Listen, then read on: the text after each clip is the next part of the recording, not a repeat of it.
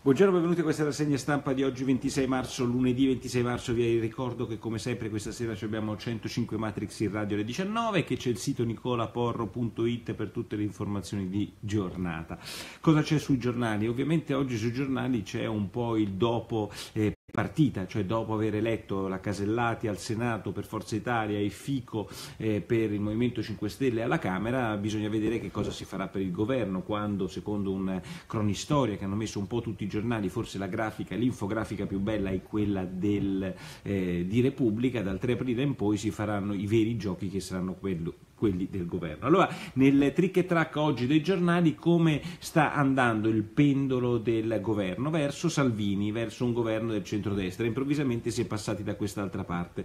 Interviste ce ne sono due significative che vi segnalo, una, so, una è, a differenza di quella di Di Maio scor- dei giorni scorsi che sostanzialmente ha detto poco, insomma Di Maio forlaniano, oggi eh, sono un po' più interessanti, non perché dicano moltissimo, ma perché puntualizzano certe cose, presidente, l'ex presidente Berlusconi e Matteo Salvini. Il Cavaliere dice il prossimo del, il prossimo premier deve essere Salvini, ma fa anche intendere che col Movimento 5 Stelle ci vuole essere poco o scarso dialogo sul Corriere della Stera.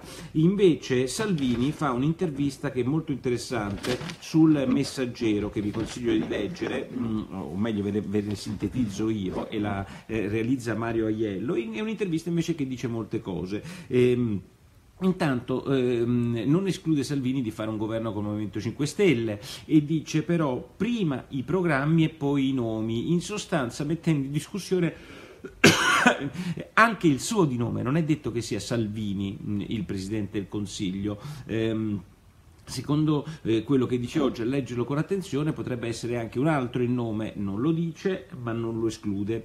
Ma poi prima i, i programmi e poi i nomi, e anche sul programma, però Salvini oggi che cosa dice in un'intervista appunto alla, a Messaggero? Dice però, eh, diciamo, diciamo la verità, sul programma non mi impunto, deve restare coerente con le idee della Lega, ma non mi impunto. Chiaro? Non mi impunto.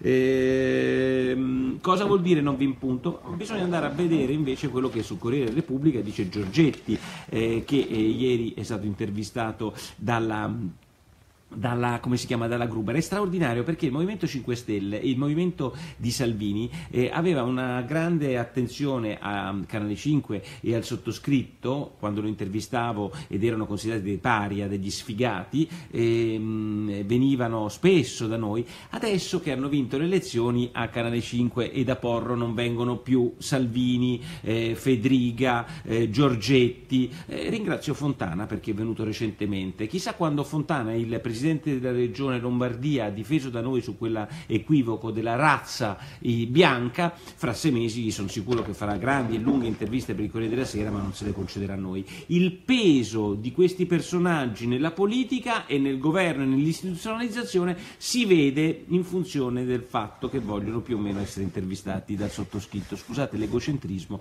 ma trovo favoloso che il movimento, il movimento di Matteo Salvini, che ha vissuto nei nostri canali televisivi e soprattutto si è vissuto facendosi intervistare da me, adesso improvvisamente non si fanno intervistare. Avranno un po' paura che gli si chieda una cosa banale, e cioè sul programma potete andare d'accordo col Movimento 5 Stelle? E beh, Giorgetti ieri ha detto, sentite che ha detto, vediamo se possiamo declinare diversamente il reddito di cittadinanza, questo ha detto. Cioè sostanzialmente si stanno provando anche loro a declinare diversamente eh, il reddito di cittadinanza, tutto dentro, flat tax, reddito di cittadinanza, così come il Movimento 5 Stelle oggi lo raccontano molti giornali. Ehm, sono, eh, si sono arrabbiati, lo fa molto il giornale, ma lo fa eh, dicendo ah, la base è contraria a questo accordo fatto con il eh, movimento di Salvini, il movimento di Salvini sta iniziando a pensare di declinare diversamente il reddito di cittadinanza. Cosa dice, molto interessante Mario Calabresi oggi su Repubblica, cosa unisce Lega e Movimento 5 Stelle per il quale faranno un governo insieme? Ehm, beh, insomma, sapete cosa dice Mario Calabresi? La rabbia, cioè il, il personale politico è espresso da cittadini arrabbiati, possono avere idee diverse sulle soluzioni, uno è nord, l'altro è sud, l'altro è di cittadinanza, l'altro è, il, um, è la flat tax, però entrambi le popoli sono arrabbiati, sì Pierpaolo condividete, sono arrabbiati e condividete anche con gli esponenti leghisti, non abbiate paura, mm, non sarò cattivo mm, come non lo sono mai con nessuno, figuratevi un po' voi se vi chiedo semplicemente cosa c'entra con il momento eh, vostro il reddito di cittadinanza, cosa c'entra con l'imprenditore di Bergamo o anche di Bari il reddito di cittadinanza, solo questo mi permetto di chiedere al movimento di Matteo Salvini che mi sembrava essere un movimento almeno con un'aria no, sul lavoro diversa rispetto a quello del Movimento 5 Stelle. Piccole domande, comunque Calabresi ha ragione e sono molto convinto di quello che dice. E Salvini fa, eh, piace a, anche a Grillo improvvisamente e dice eh, il leader del Movimento 5 Stelle, almeno il leader ideale, quello che vorrebbe mangiare i giornalisti e vomitarli, quello che voleva mandare a fanculo tutti gli italiani, tutti i politici, quello che voleva aprire il Parlamento con una scatoletta di tonno, insomma quel Grillo là dice quello che trovava razzista eh, Salvini, trovava improbabile eh, qualsiasi alleato dello psiconano come chiamava Berlusconi, Grillo dice Salvini è un uomo di parola, sì la parola forse con lui tenuta ma con Berlusconi un po' meno, diciamo che di, una, di parola con loro ci sta benissimo, a me va benissimo anche perché Berlusconi pure magari tante volte le parole non le ha tenute, De Masi dice ehm, invece fuori diciamo, contesto il, il giuslavorista, il sociologo De Masi dice il patto tra Lega e Movimento 5 Stelle secondo lui sarebbe, una, sarebbe contro natura. E Fico nella sua prima uscita alla, eh, come Presidente della Camera qual è la grande cosa che ha detto? Qual è la grande emergenza? Beh insomma si tocchino i vitalizi. I vitalizi sono stati già toccati sui parlamentari che oggi sono stati eletti quindi riguarda i parlamentari del passato. Questo vuol fare, questa è la grande battaglia ehm, del, di Fico. E, in, eh, invece, molto più divertente, ho trovato, eh, se volete, una piccola battaglia, una piccola battuta che ha fatto la Casellati, Presidente del Senato, che io adoro, ve lo dico subito, adoro se non fosse altro per come è attaccata oggi dal Fatto Quotidiano e da Caselli in un'intervista, mi sembra, al Corriere della Sera o Repubblica, che l'attacca, dice è la donna di Berlusconi, delle, delle, del bunga bunga, delle, delle leggi a persona, non del bunga bunga ovviamente, delle, delle leggi a persona, ma la cosa straordinaria della Casellati che ieri va a Genova perché c'è il concerto del figlio e qualcuno le dice ma la dobbiamo chiamare presidentessa e lei dice guardi chiamatemi presidente. Allora almeno abbiamo interrotto interrotto, almeno abbiamo interrotto quella specie di china imbarazzante per cui contano più le parole dei fatti. Straordinaria la Casellati, il rischio oggi che si trovi come vicepresidente del Senato la Buongiorno, secondo un retroscena molto interessante, adesso i questori, i vicepresidenti, chi verranno e chi non verranno, le fa il giornale, pagina 2 o pagina 13, adesso abbiamo fatto presidenti, ma vedrete che ci sarà tutto lo scannamento tra i vicepresidenti che contano e i questori, insomma tutti i piccoli sottopoteri della politica a Roma è stata intervistata finalmente Marilù Chiofalo. Bene, chi è Marilù Chiofalo? Una pagina intera di Repubblica, oh, paginone di Repubblica con Cita De Gregorio.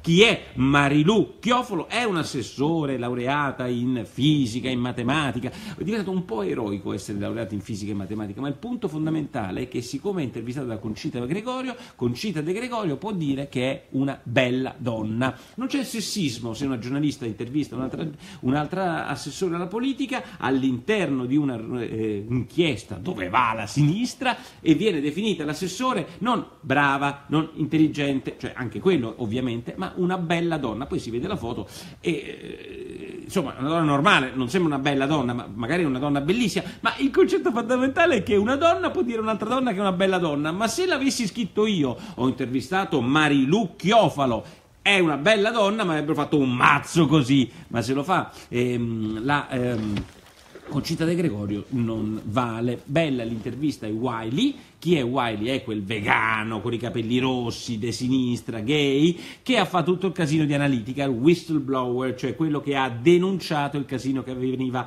nella società che vendeva i dati vostri e nostri. Dice che anche nella sua intervista, che è comunque divertente da leggere, è che ehm, nella, eh, nella, lista di quelli che vengono, ehm, che avrebbero utilizzato Analitica c'è anche un partito italiano. Qual è il partito italiano? Gli chiedono, ah non me lo ricordo. E, ma c'era qualche italiano che lavorava in Analitica? Sì. E qual è il suo nome? Ah non me lo ricordo. Beh, è stupendo. E, insomma, è, è, proprio un, eh, come possiamo dire, un fricchettone eh, dei big data che non si ricorda neanche un nome, favoloso. E I computer ricordano anche i vostri interessi. Gli uomini che lavorano con i computer e che si sono inventati queste cose non si ricordano neanche un nome. È geniale. Quando il cervello viene preso, tolto dalla capoccia, messo in un computer, fatta la capoccia di rosso, io oggi non dovrei parlare con i capelli che mi trovo, e avanti così. Ci vediamo questa sera.